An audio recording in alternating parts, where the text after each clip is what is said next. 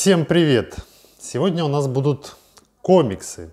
Почему комиксы? Ну, так получилось, что люди попросили затереть персональные данные, ну и исказить картинку, э, дабы невозможно было однозначно опознать некоторых э, участников данного события. Э, поэтому я там путем некоторых манипуляций попробовал, как это можно поменять. И увидел такой интересный формат, когда все переводится в черно-белое, и ну, реально невозможно а, опознать по лицу человека. Поэтому, ну и как бы, когда я это сделал, увидел, что оно похоже на комиксы, реально на черно-белые рисованные комиксы. Поэтому так, так и начал я по поводу комиксов. Какая предыстория? Предыстория самая обычная. Остановили человека на евро номерах и после недолгой беседы вдруг внезапно обнаружили, обнаружили, ну вы, ну вы знаете, да, что человек э, якобы находится в состоянии наркотического опьянения. Ну, давайте дальше картинку смотреть. Значить, Всім доброго дня. Я інспектор патрульної поліції, старший лейтенант Хміщук. Значить, Зупинили транспортний засіб ПМВ е, 530, державний номерний знак Польща СЛУ 66 Мішаніна. Під керуванням даного громадянина. Назвіться, будь ласка. Микитенко Олександр Андрійович. Е, Дата народження ваша повністю. 04.10.99. Значить, при спілкуванні з Олександром Андрійовичем бачимо в нього ознаки наркотичного сп'яніння. Зараз е, в присутності двох свідків, назвіться ви, будь ласка, Ткаченко Володимир Олександрович. рік народження. 26 грудня 1986 року. Ви, будь ласка, назвіться. Э, Сирож, Сирож Анатолий Федорович. Рік народження. 52 года рождения. Значить, дивіться, в присутності двох свідків е, пропонуємо вам пройти огляд у найближчому медичному закладі на стан наркотичного сп'яніння. Їдете з нами в медичний заклад? Можу принести. Їдете в медичний заклад, так? Да. Да. Все, він стань. Їде в медичний заклад. Їде медичний Да. заклад? Дивіться, зараз я роз'ясню. Е, Лейтенант поліція каже, дивіться, е, Олександр, да? Олександр, я вам роз'яснюю ваші права та обов'язки. Е, Дивіться, є спільний наказ Міністерства охорони здоров'я та Міністерства внутрішніх справ 1452 по виявленню водіїв, у них ознак алкогольного або наркотичного сп'яніння. Е, Під час спілкування з даним водієм є підозра, що даний водій вживав наркотичні речовини. Останній раз вживали наркотичні речовини, чесно кажіть. Вчора Що ви вживали? курив Що курили? е, траву. Ну траву як вона називається? Нормально Ну, кажіть. трава, як там. Трава, марихуана, правильно я вас розумію? Да? Да. Е, Добре. Та нічого. Не мішайте, будь ласка, стійте, зараз закінчимо. Дивіться, е, в присутності двох свідків ми вам пропонуємо проїхати з нами до лікаря-нарколога для здачі аналізів на виявлення стану наркотичного сп'яніння. Якщо в присутності двох свідків ви погоджуєтесь, ви сідаєте в транспортний засіб, ставите тут, сідаєте до нас в транспортний засіб і їдемо до лікаря-нарколога.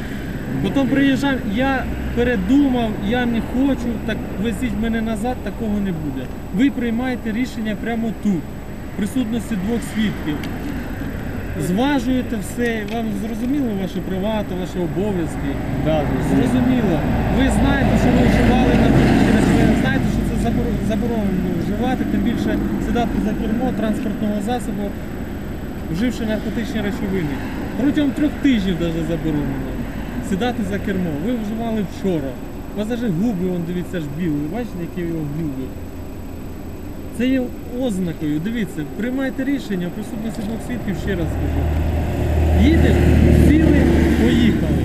Якщо лікар-нарколог дасть нам висновок, що ви е, вживали наркотичні речовини, в вашому організмі знайдено якісь наркотичні речовини, марихуана, що ви вживали, воно покаже. Ми приїжджаємо, там же складаємо матеріал по 130 сюди приїжджаємо, транспортний засіб їде на штрафплощадку.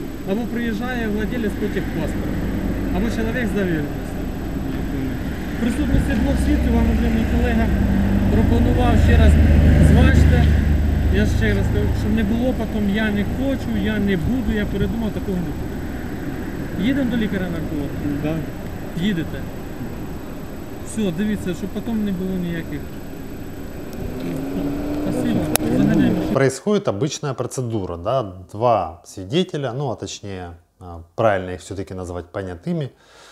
При понятых ему предлагается пройти осмотр у врача-нарколога, на что э, сам водитель соглашается, да, причем, э, что интересно, э, я не знаю, почему так, я сам получил это видео вот в таком виде, и самому интересно, почему именно так произошло. Полицейский у него спрашивает, ты курил? Он говорит, ну, курил, да, вчера. Но это, это важный момент для данного видео, а мы до него дойдем в конце. И казалось бы, что тут такого? А, Человек согласился, и, в общем-то, дальше должно произойти как бы следующая поездка в нарко, там, этот э, диспансер, ну, не в диспансер, да, в общем, к, к врачу-наркологу. И там э, врач-нарколог должен отобрать уже там речовину соответствующую, ну, либо не отобрать, если он не увидит признаков. И после этого уже как бы вилка, да, туда или сюда, наказать, либо оправдать. Но вдруг внезапно, через 7 минут, появляется продолжение этого видео. Значить, всім доброго дня, я інспектор патрульної поліції, старший лейтенант Міщук. Повідомляю вам, що згідно е, 35 статті ведеться фото-відеофіксація даної розмови. 30 статті. Значить, е, зупинили транспортний засіб BMW 530, державний номерний знак. Польща, СЛУ 66 МН. Значить, під керуванням даного громадянина. Назвіться, будь ласка. Е, Микитенко Олександр Андрійович,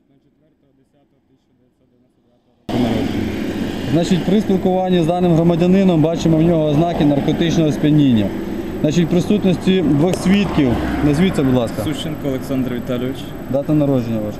4.10.1987. Ви, будь ласка, назвіть. Козловець Анатолій Адамович, 25.06.68. Значить, в присутності двох свідків Олександр Андрійович пропоную вам пройти огляд в найближчому медичному закладі на стан наркотичного сп'яніння. Їдемо в медичний заклад здавати аналізи. Ні, я відмовляюся. Відмовляєтесь. Ви розумієте, що якщо ви відмовляєтеся від проходження огляду на стан наркотичного сп'яніння, відносно вас буде складено протокол, і ви будете нести відповідальність згідно чинного законодавства про відмову проходження на стан наркотичного сп'яніння лікаря-нарколога. Так, да, я розумію. Розумієте? Свідки почули, даний громадянин відмовився від проходження огляду на стан наркотичного сп'яніння лікаря-нарколога. Тому, е, Олександр Андрійович, е, приступаємо зараз до складання відповідних матеріалів, протоколу, який в подальшому буде передано до суду. Вот как-то так, внезапно, да, то есть тут он соглашается, тут он не соглашается. В промежутке между этими двумя видео полицейские ему как бы присели на уши, что называется, и рассказали, что, дружище, если ты реально знаешь, что ты вчера курил, да, траву, то по-любому а, тест покажет, что ты курил и что у тебя там в крови находится соответствующее наркотическое вещество. Поэтому смысла тебе реально ехать э, ну, к э, наркологу никакого нет. Поэтому давай, а, а, ну, конечно, плюс еще говорят, и тачку же заберем. Ну, сами понимаете, евробляха, это ж э, один из способов надавить на больное. А так, говорит, отказывайся, да, и, в общем-то, дальше там, плевать нам на этот автомобиль, он поедет туда, куда ты захочешь. Вот. Ну и как бы парень отказывается. Потом эти материалы попадают в суд.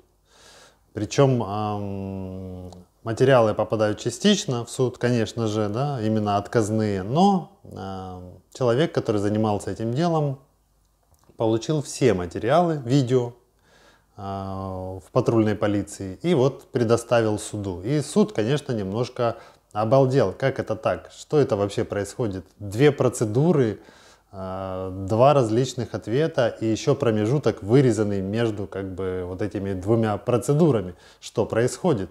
И в итоге постановил оправдать человека, э, потому что, ну, это просто полный абсурд, как бы как- слишком много нестыковок, слишком много вопросов к полиции для того, чтобы однозначно утверждать, что в действиях данного водителя есть состав административного правонарушения.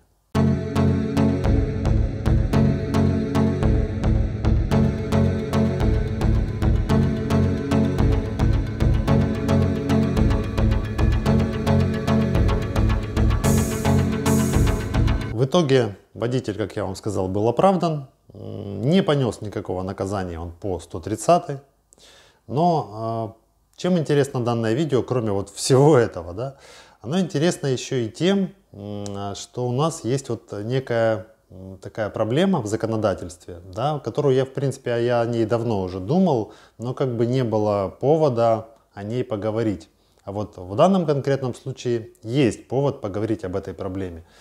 А, У нас э, по 130 ответственность предусмотрена за управление в состоянии опьянения, да, либо там, алкогольного, наркотического, либо под э, ми- медицинскими препаратами, что в свою очередь э, не дает как бы вовремя реагировать да, на дорожную обстановку. Смысл именно в этом, что у человека некое измененное состояние, которое там тормозит его рефлексы и дает, скажем так, возможность а, начудить на дороге, да, попасть в ДТП, сбить кого-то, еще что-то подобное.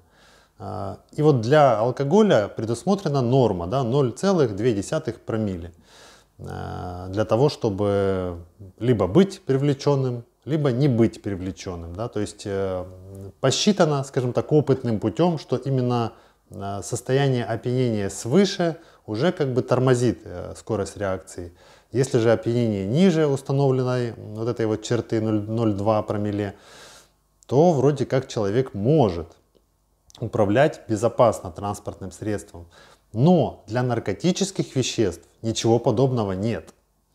И э, если в итоге там будет установлено, что в организме, там, в слюне, в крови, да, ну в крови в первую очередь, потому что в крови дольше всего может находиться наркотическое вещество.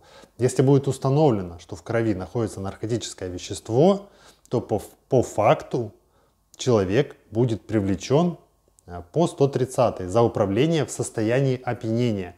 Но при этом он мог, вот как этот, например, парень, э, там, он покурил вчера, а сегодня он может безопасно управлять. Уже эм, наркотические вещества никак не влияют на скорость его реакции. Я вам больше скажу, ну, может вы и сами знаете, некоторые наркотические вещества имеют свойство сохраняться в организме там, от нескольких дней до нескольких недель. И возникает вопрос, подождите, а у нас, э, ну, как бы на- наказан должен быть тот, кто находится в состоянии опьянения в момент управления, либо тот, кто, либо тот, кто управлял и в крови которого найдено там наркотическое вещество. Никто не считает э, вот тот размер, скажем так, да, или объем э, наркотического вещества, как он влияет на скорость реакции водителя. Вот это очень э, большой пробел. Да, наркотики это плохо.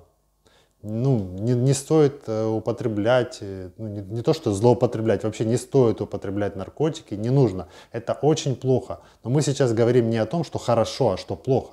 Мы говорим о том, заслуживает ли человек наказания за а, то, чего он фактически не совершал. Если он и употреблял там несколько дней назад, то должен ли быть он наказан за то, что он трезвый едет сейчас на автомобиле, но при этом он, вот видите ли, там 5 дней назад употребил какое-то наркотическое вещество. Должен ли он быть наказан? Но я считаю, что нет. Это ну, как бы большой пробел и большая проблема вот вообще в э, этой ситуации по 130. Ну вот как-то так. До встречи.